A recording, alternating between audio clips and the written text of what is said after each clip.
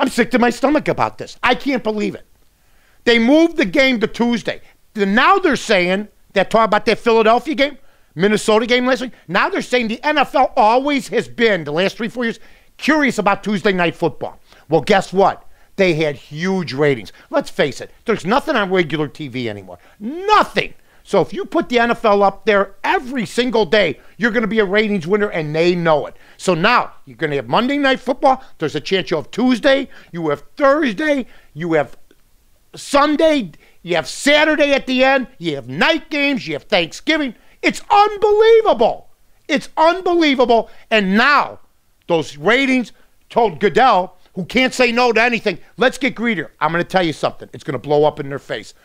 Eventually, there'll be so many bad games. Plus, it's going to break up pools, fantasies. Tuesday night, we're not ready for our pools, our confidence pools. We don't have our games charted yet for handicapping. Are you kidding me?